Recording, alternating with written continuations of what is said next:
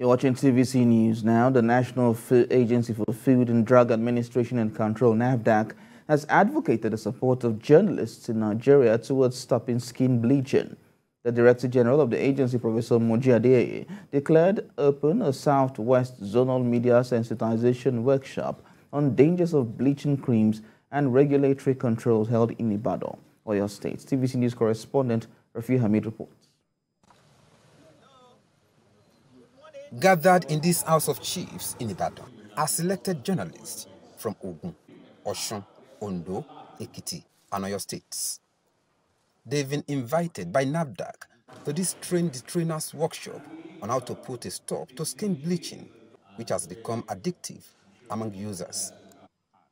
Skin bleaching can be traced back to slave trade era and colonial period. According to findings, reasons for skin bleaching include racism, colorism, low self-esteem, peer pressure, media portrayals of dark-skinned people, among others. Bleaching is a global issue. It's not just a Nigerian issue. Even among Indians and other races, it is a challenge. But we must note it is very addictive. Because everything negative is ascribed to black. We need to begin to change that and begin to make them understand that black actually is beautiful. I am black, I am declaring the workshop open, the Director General of NAFDAC says the agency has made significant impact on the health of Nigerians. This is a good time to publicize where we are. Maturity level three, only 30% of regulatory agencies in the world have gotten that recognition. We have 194 regulatory agencies in the world. If you do not think quality, you will not think of your customers.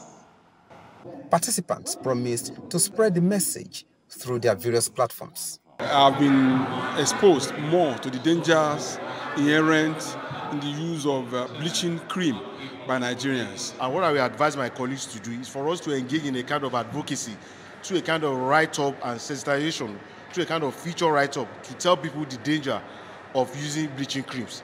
The agency says its action to continue to discourage skin bleaching is aimed at safeguarding the health of Nigerians. The Nigerian Senate had moved to regulate bleaching cream in the country after a motion sponsored by Senator Lurem Tinubu in 2021. Rafiu Hamid, TVC News, Ibadan.